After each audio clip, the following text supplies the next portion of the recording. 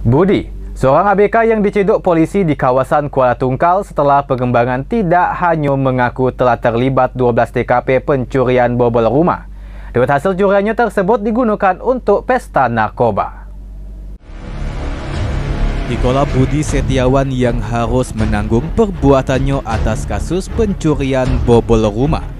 Dari pengakuan Budi, duit hasil curiannya tersebut digunakan untuk pesta narkoba jenis sabu-sabu bersama para rekannya.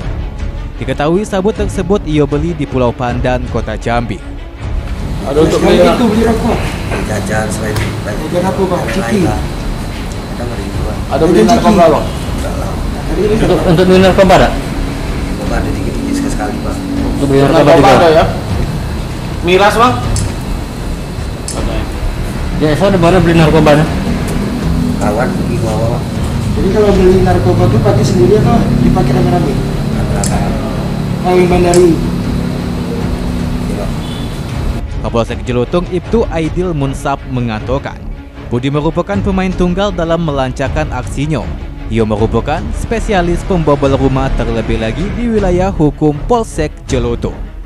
terkait dengan kasus pencurian dengan pemberatan yang mana eh, di wilayah hukum Polsek itu sering eh, terjadi curap sehingga tim Opsnal melakukan lidik.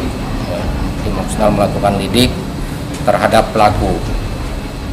Eh, setelah digali didapatlah eh, informasi bahwasanya tersangka ada melakukan eh, perbuatan pencurian dengan pemberatan di eh, lorong dekat rumah makan Ekri. Dimas Sanjaya, Jack TV, Ngabari.